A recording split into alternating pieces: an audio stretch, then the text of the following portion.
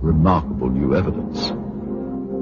If this film indeed corresponds with Vereshchagin's story, what we are looking at is the scene of the crash site in Pereyaslawski, as viewed by a camera on top of a military truck.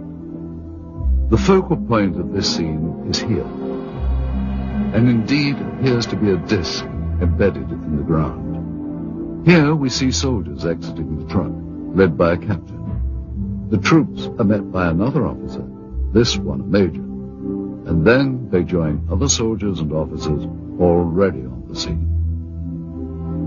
This footage is one of four reels of film acquired during our investigation. Explore it. This film footage certainly seems to depict interest by Russian military personnel in the object that is seen sticking out of the ground. Soldiers, officers, and civilian clothed agents are deployed around the site and they appear to be both guarding and examining the object. This is what we found on one of the four reels of film obtained in Russia. After viewing the footage, we were able to determine that it was most likely shot with two separate cameras. One apparently a handheld camera, which starts out on the approaching truck, and a second one seen here on a tripod. As the soldiers march past, you can see the cameraman turn to follow the troops. Here we cut to the other angle, the point of view from the tripod camera. And here you see the handheld camera as the truck pulls up.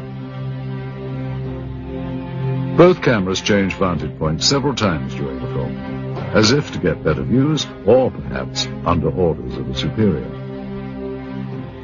From this angle, we see yet more troops arrive. Author Veniamin Vereshchagin described события приняли более такой масштабный характер. По просьбе КГБ были привлечены On the KGB request, the Soviet army And here you see the man who is probably the head KGB agent directing the cameraman to point his camera toward the disc. A total of almost 1,200 feet of negative were recovered just on this crash site. It is possible that more film was shot, but this is all that we were able to obtain.